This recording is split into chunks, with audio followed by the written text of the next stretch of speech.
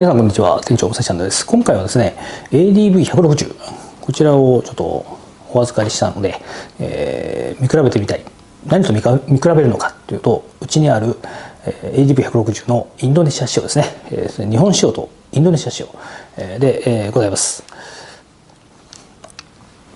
えー、左側これがですねインドネシア仕様の ADV160 そしてこちらは、えー1月ですかね。そちらに発売になりました。国内仕様、えー、タイで作ってる日本仕様ということになります、えー、まあ、違い外観はですね基本的には一緒ですよね。はい、えー、新しいねこのアドベンチャースタイルのスクーターという感じのデザインとなってえございます。ま150と160の違いえっていう部分で、まあ、こと細かな部分がね違ったりするんですけども同じ160日本仕様とタイ仕様えー、失礼日本仕様ですね、えー、インドネシア製とタイ製で、えー、どう違うのか、えー、そのあたりはですね、はい。えーまあ、外観こんな感じでね、えー、いかがでしょうか。でこのホワイトですねちょっとメタリック入ってるんですけどこの白は日本仕様にはないカラーリングになります。であちらの黒い方はインドネシア仕様もあったかと思いますが、はいまあ、そういう違いはもちろんあるんですが、うんまあ、スクリーンがね、はい、この穴がね途中に開いてるスクリーンであったりとかあとミラーとかも一緒ですかねあとグリップの形状、えー、あとこれレバーね、多分一緒だと思います。これ、社外のね、お客様社外のに交換されてますけどね、多分これも一緒だと思います。まあ、ウィンカーだとかね、え、そういったものも基本的に一緒ということになるんでしょう。はい。で、違うところを見たところですね、えーインドネシア仕様にはねサイドリフレクターがついていない。一方日本仕様には丸いねこのリフレクターがついているということで同じ方向に向けた方がいいかな。ステイはどうなってますか？これはねここに穴ないですね。そして、えー、これはあのブレーキケーブル。失礼ブレーキホースとスピードセンサーのケーブルが、まあ、ここにねまあ、ABS センサーですかね、こちらはね。こういうふうに、え止めるためのステーですよね。そして、え日本仕様も同じように、これは、ここの部分は一緒なんですけど、ここですね、リフレクターを止める、こっち側に穴があるんですね。こちらね、その違いがあるようですね。はい。まあ、ブレーキとかは基本的に一緒じゃないですか。ね、日清。これは艶消しの黒なのかな。うん。えー、日清ね。まあ、基本的にえ一緒のようで、えございます。違い、あ、違いますね。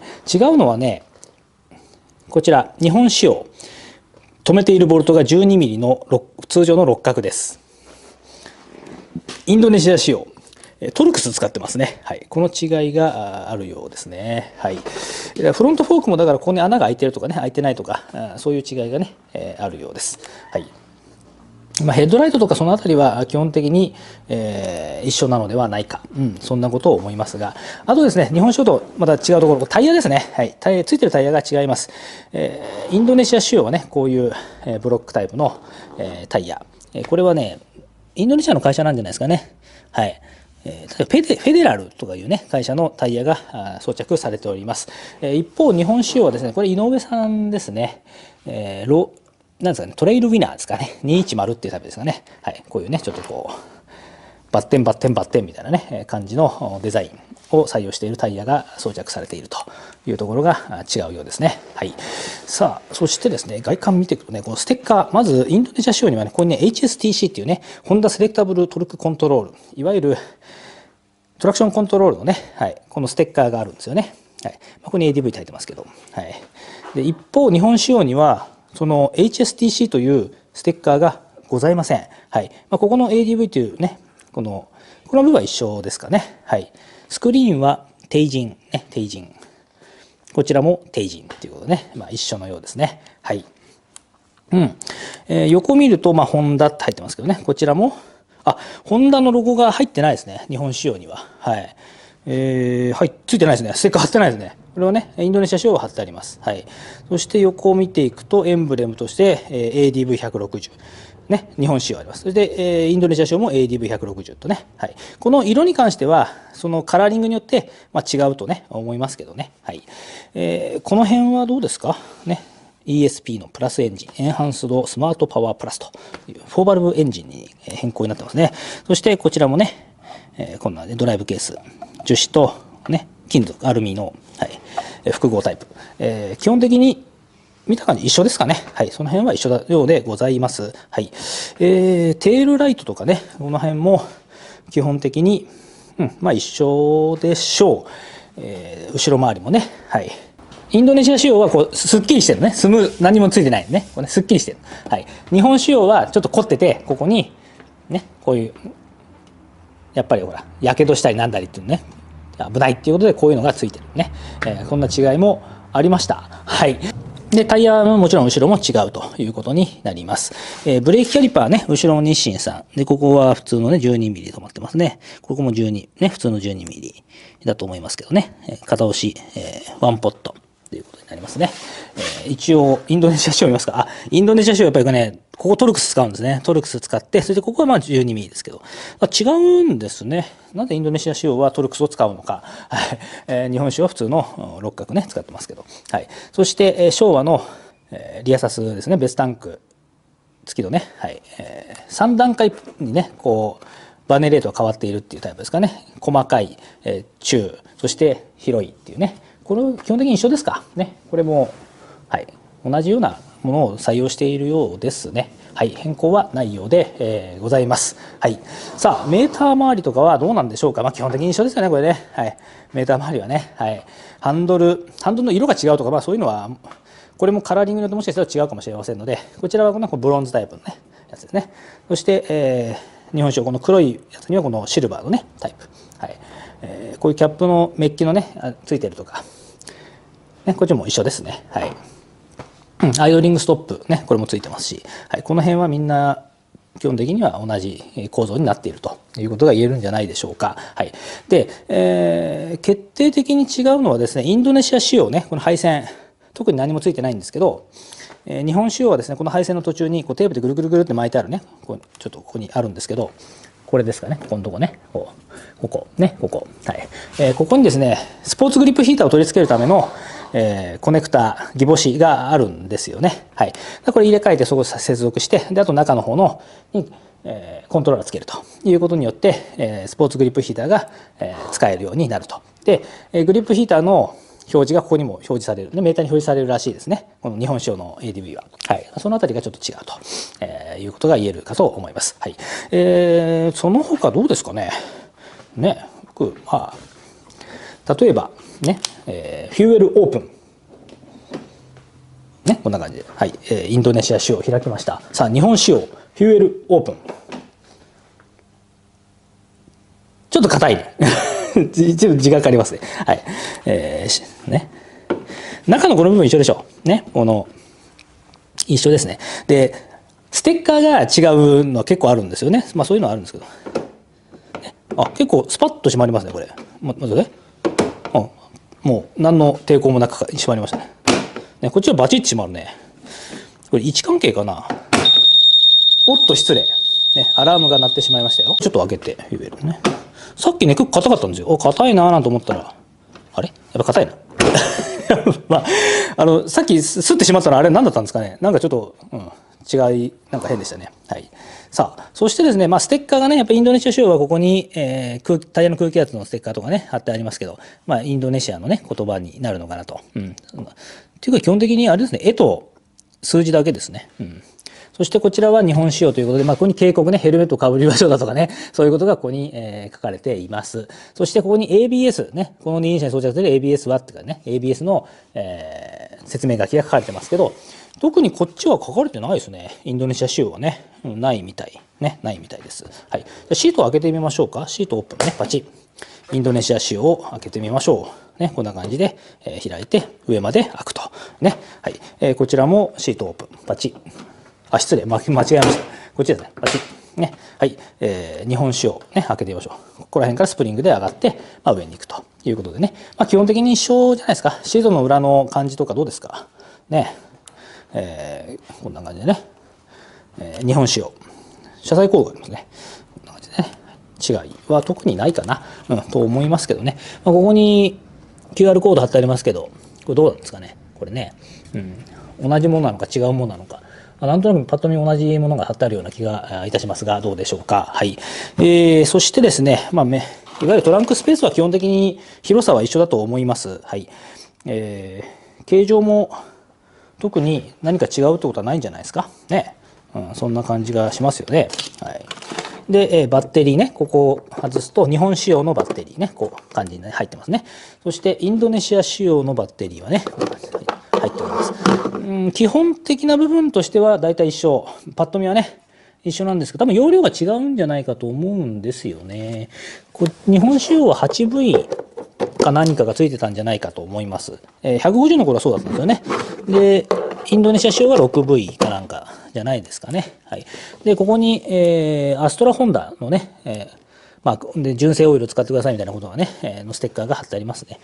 えー、パカイラ、なんですかね、ペンディンなんとかなんとか書いてますね。はい。えー、特にね、こんだけ。はい。で、日本仕様は、まあ、こちらにリサイクルマークだとか、あとこのカラーコードだとか、えー、荷物の積載が何キロだとか、えー、いろんなもの貼ってありますね。はい。タイホンダのね。で、こっちもタイホンダメイドインタイランドっていうステッカーと、あとここにタイヤの空気のね、はい。えー、ものが買ってあるということのようですね。で車体番号同じ、どっちも同じ場所にありますが、うん、そうですね。どっちも同じ場所に、えー、刻印してありますね。はい。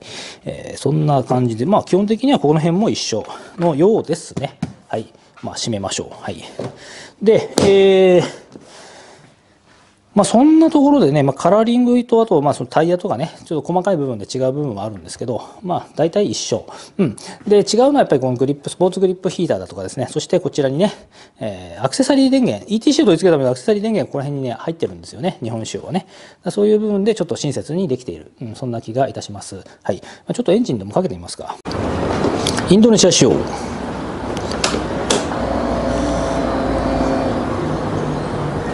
次はですね日本仕様はいこんな感じでね。はい。日本仕様エンジン始動。ど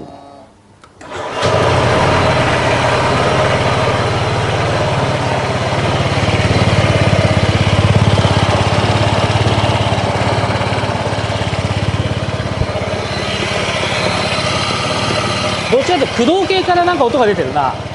駆動系からシャーっていうなんか音がね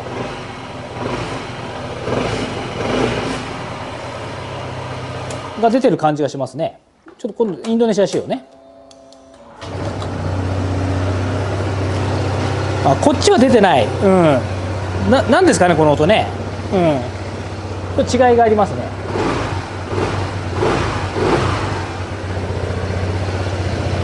うん。はい。この辺りはちょっとわからないですね。はい。まああの個体差があると思うんでね。うんまあ走ってないっていうのももしかするとあるのかもしれませんしちょっとこちらはもうばらしてね一回ねグリスとかちょっとはいえー、入れ替えたりとか やっちゃってるんでそういう違いがもしかするとあるのかもしれないということですね。あとですね違いがありました違い。リモあのリモコンっていうんですかね。ホブキーっていうね、はい、これが、えー、インドネシア種はこれ。ここのがねこう銀色ででセキュリティのボタンがアラームのねあれがついてます。標準でアラームついてますんで。はい。日本仕様は標準じゃないんですけど、あのー、後から純正のアラームを取り付けることができるかと思います。で、インド、えー、日本酒はこれ、黒いね、えー、ここも全部黒の、ちょっと違うんですよね。ほら、こんな感じで。インドネシア仕様とね、日本仕様。この違いがありますね。まあ、どっちがね、いいとか悪いとかいうことはないと思いますが、はい。えー、基本的な形とか一緒なんですけど、うん、そのスイッチの部分ね。で、これはあの鍵の部分と、えー、バイクの絵でピッピっていうね。これこれこそ多分光るんですか、ね、ここにいますよって分かるようにだと思うんですけど、はい。えー、でインドネシア仕様の場合はこのセキュリティのアラームもね入ってるんで、えー、でこれ長押しすればこれ入るんですかね。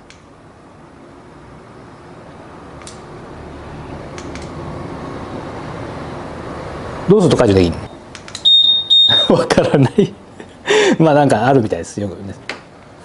はい、という感じでですねあの見比べてみましたがいかがですか、まあ、色違いっていうのもあってもしかするとステッカーもねこの他の色には貼ってあるとかねもしかそういうのはあるのかもしれないですけど、うん。まあ、細かいところがちょっとねやっぱり違うというねことで、うん、あの日本で乗ることを考えたらやっぱり日本仕様の方がいいかと思いますね、えー、これはですね別にあの保証がどうだとかそういうことだだけの問題じゃなくそういう問題だけじゃなくてやっぱりあのグリップヒーター取り付けるねスポーツグリップヒーター取り付けるためのものがもう初めから来てるとかあとアクセサリーの電源ね ETC つけるための電源とか来てるとかそういうことを考えると非常にあの親切なやっぱり日本で乗ることを考えてね親切な作りになっているなっていう気がいたします、まあ、インドネシア仕様は、まあ、その点そういったものはついていないので、うんまあ、アラームはなくてもいいからね、まあ、つけられるし後からも、まあ、なくてもいいような気はするんですけどうん。まあ、色あとは色的なものだけな気がしますね、うん。まあ、タイヤも別にこれは別に悪いタイヤがついてるわけじゃないんで、うん、パターン的にどうですかね？パターン的に私はこっち側が好みですけどこういう四角い四角いブロックの方がこちらはねこうちょっとこうクロス的なねあれでねこうねこういう感じのねパターンですけど、まあ、もちろんタイヤだって後から変えれば済むことなんで、うん、そんなに重要な部分ではないということが言えるかと思います。はいえーまあ、ただやっぱりあの購入することを考えると、まあ、日本仕様の方が、えー、いろんな部分でいいのかなとそんなこと思いますけどね。まあ、バッテリーの大きさが違うとかあと、ね、発電量がどうのこうのとか そういう部分も多少違うっていう話もねありますしね、うん。えーまあ、そういうことを考えると、えー、日本仕様やはりよくできてるなという感じがいたします。あと価格ね。価格もこっちの高いんです実は。そう一番高い時だったから、えー、150円。ドルで150円とか言ってた時代です時ですから、うん、そういう時に頼んで買ったやつだから高かったですねやっぱりね。こっちより高いんですよ。考えられないでしょ。それぐらい。まあその分ね、まあ、の早くねあの入手できて、えー、さらにねいろいろ載って動画も撮ったしね。あそういう意味ではこれは非常にねあの十分働いてくれてはいるわけでございますが。はい。という感じで ADV、うん、160日本仕様と日本仕様とインドネシア仕様先行発売なんでねインドネシア仕様、え、こちらを、えー、見比べてみましたがいかがでしたでしょうか？